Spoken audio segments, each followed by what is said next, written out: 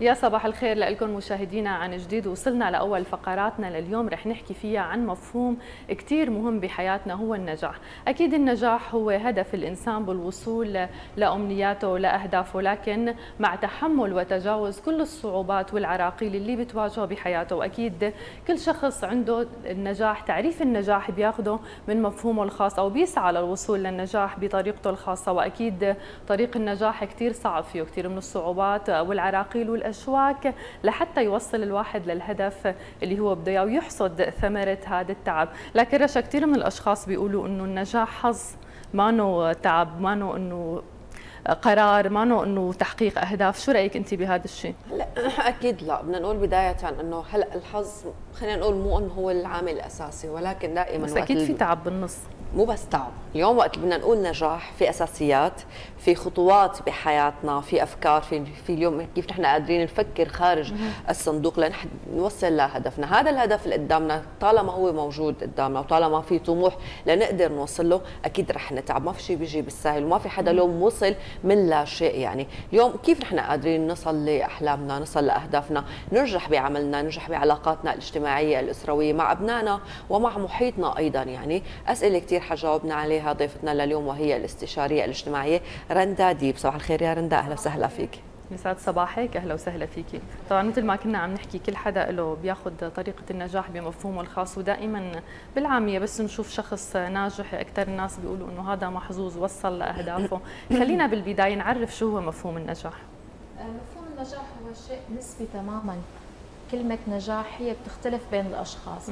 دائما أنا شو بدي؟ هو دائما الخطوة اللي أنا عم أتحضر لأني أخطيها هي بتكون آه، بالنسبة لي أنا كفرد باستثناء باقي الأشخاص هي بالنسبة لي خطوة ناجحة أو لا حسب أنا شو حطيت لها مقاييس. فهو دائما النجاح هو الشعور بالإنجاز هو الشعور بالرضا. لما بكون أنا عندي شعور بالرضا لأي شيء عملته آه انه أنا حققت خطوة معينة من الأفكار والأهداف اللي أنا حاططها. فهون أنا بكون آه وصل لي مفهوم النجاح وقدرت آه أحصل عليه.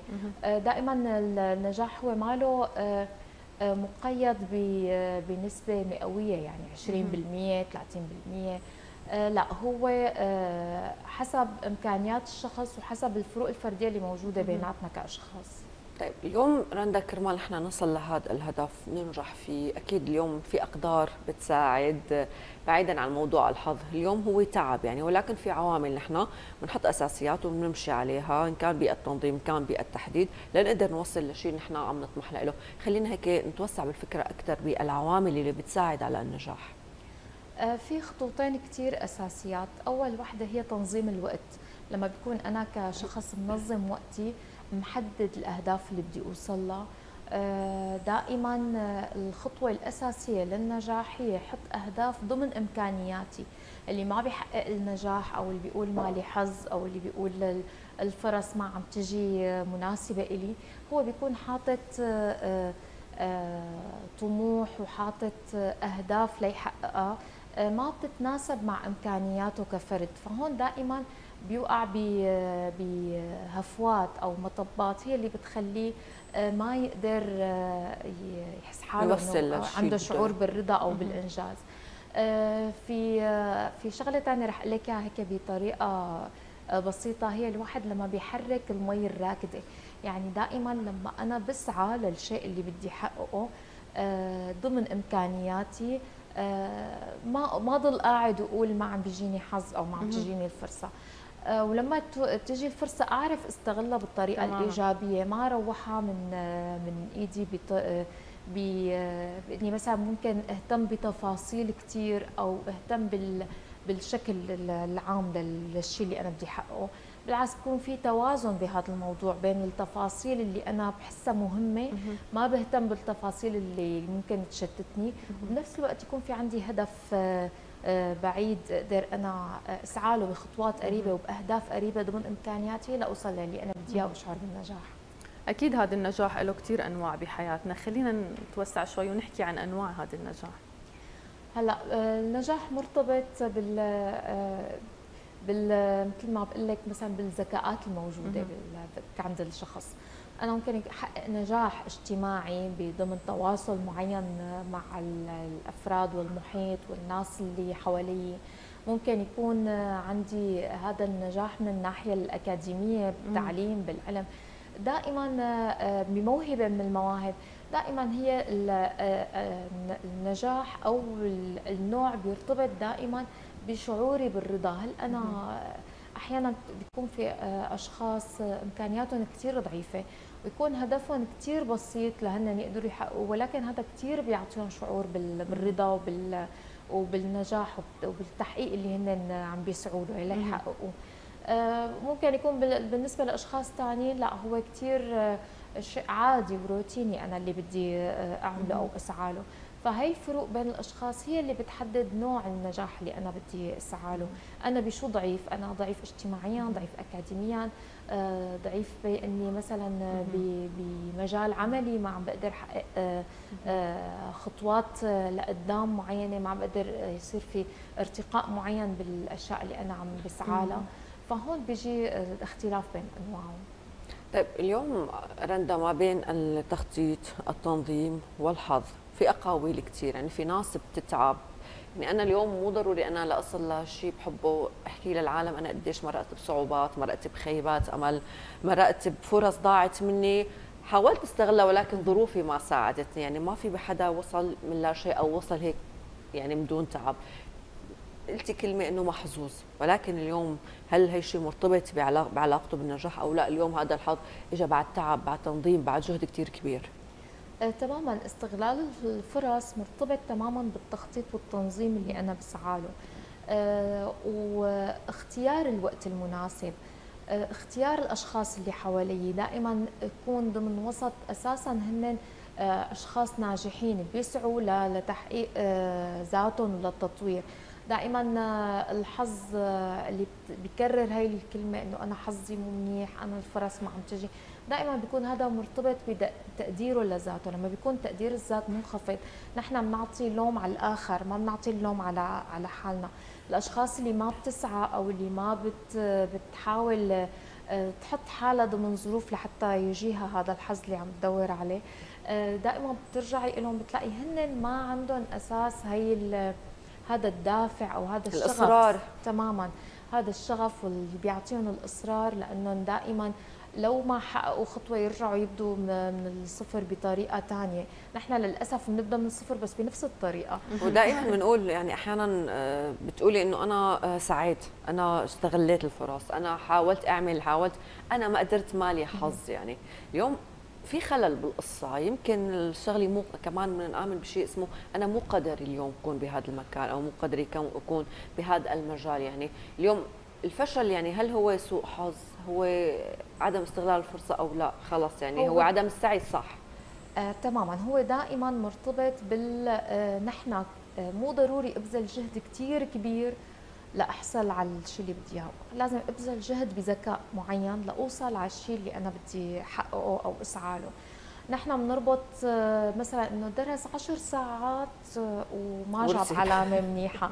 ولكن هو درس العشر ساعات ولكن مو بذكاء. ما عرف آه، يستغل هذا الوقت. تماما أو يستغل المعلومات الكلمات المفتاحية تلخيص الأفكار. في أشياء معينة مرتبطة بالمادة العلمية هي بتخليني أنا أحقق النجاح.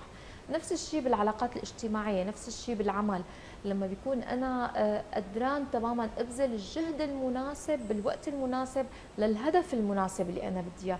آه، ما يكون في عندي آه، مضي على الوقت أنا إنه والله ضليت عشر ساعات عم بقنع وما اقتنع مثلا حضرت لبرزنتيشن وقت كثير طويل وما عرفت اقدمه هاي الأشياء ترجع ليه ما عرفت اقدمه لأنه أنا تقديري لنفسي منخفض. تقييم الناس اللي بيهمني أكثر من تقييمي لنفسي.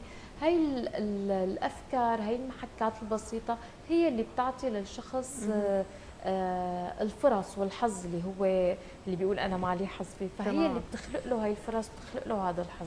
وكمان مثل ما ذكرتي إنه الشخص قد ما مر بعراقيل لازم ما يوقف عند أي صعوبة بتواجهه لازم يكفي يسعى مرة وتنتين تماما وثلاثة. ويبدأ من غير نقطة.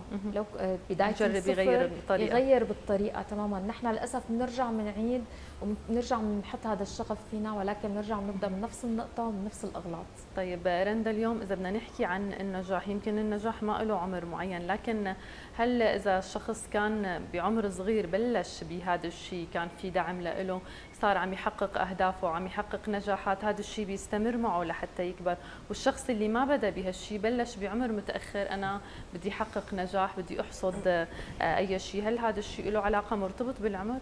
هلا الفئات العمرية دائما المراحل هي مختلفة. في مرحلة هي مرحلة العلم والتعليم في مرحلة هي مرحلة الإنجاز والعمل في مرحلة هي تكوين الأسرة وتكوين العلاقات الاجتماعية.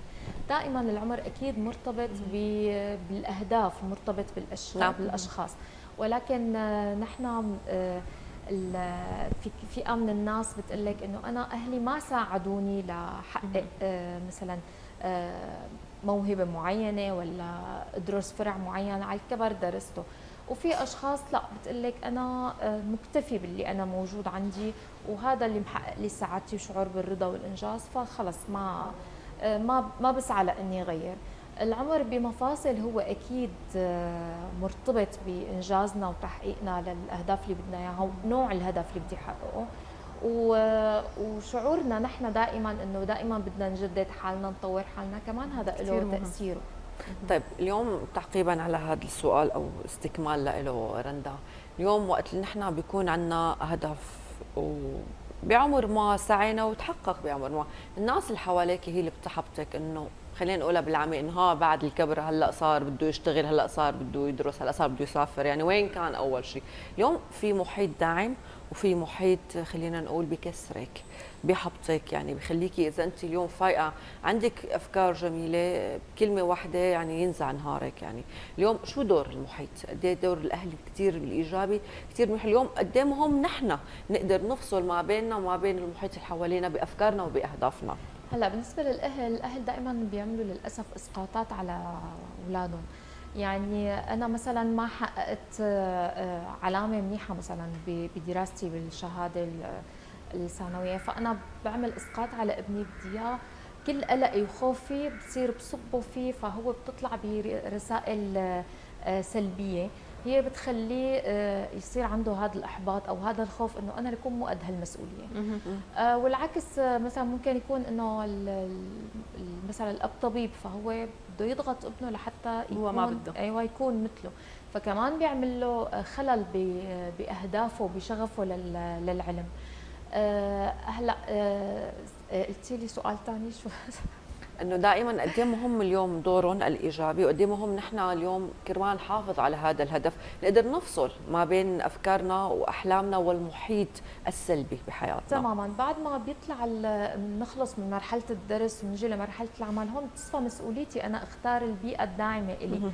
ما أقعد بين أشخاص سلبيين أو سوداويين بالعكس أختار الأشخاص المتفائلين الأشخاص اللي عندهم الكلمة الحلوة اللي ممكن أنا أسمعها وتشجعني. آه كمان آه أحيانا النقد مو كله بيكون سيء. أحيانا في نقد بناء هذا دائما أنا لازم أختاره وانتبه للأغلاط اللي أنا ممكن أوقع فيها لحتى دائما تكون بداياتي صحيحة بأي شيء بدي أحقق فيه أهداف أو إنجاز معين.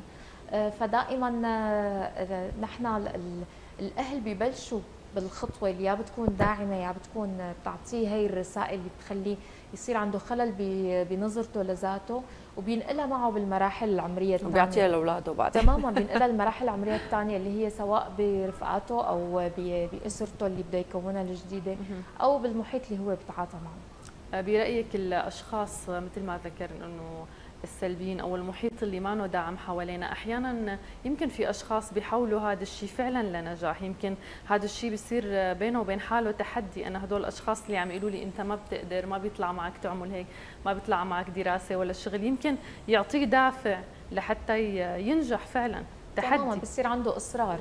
هذا بيكون صار عنده آه، المراحل القلق اللي آه، عنده إياها هي بالدرجات المناسبة اللي بتعطيه الدافع والشغف لأنه دائما يسعى ويحقق آه، إنجازات.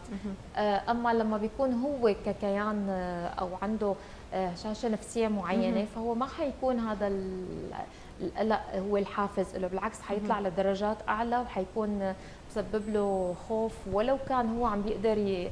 عنده القدرة على الإنجاز ولكن هذا القلق اللي وصل لمراحل تخليه معطلة لإنجازه آه، حترجعه لورا ما حتخليه يقدم لقدام.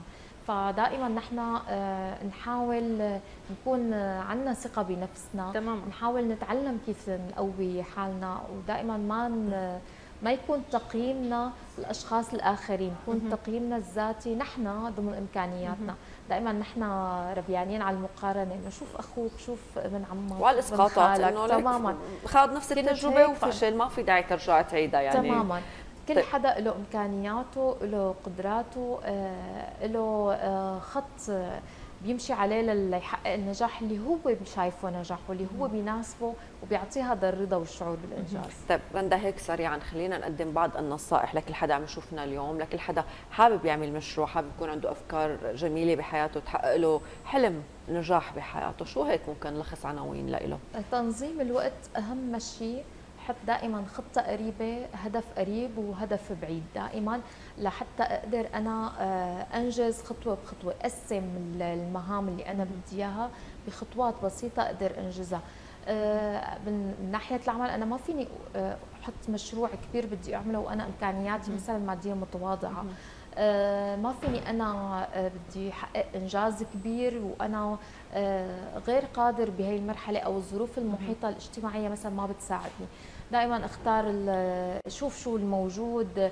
أي أكثر شيء اللي رائج ممكن أنا آه، أعمل خطوة إيجابية فيه آه، ضمن إمكانياتي المادية وال والجسدية والشغف اللي يكون موجود عندي. صحيح. ما وصل لنص الطريق وأشعر بالفشل. أكيد رندا معلومات كثير منيحة وجميلة يعني قدمتي لنا إياها وكثير مهمة بهذا الوقت اللي فيه فعلا امتحانات الشهادات الثانوية والإعدادية. أكيد بنتمنى لهم التوفيق وشكرا كثير لك على المعلومات اللي قدمتيها. شكرا لكم. شكرا رندا. يومك حلو هيك وبالتوفيق لكل حدا مرافقنا بصباحنا لليوم. إن شاء الله هيك يكون النجاح والحظ الجميل لكل الناس.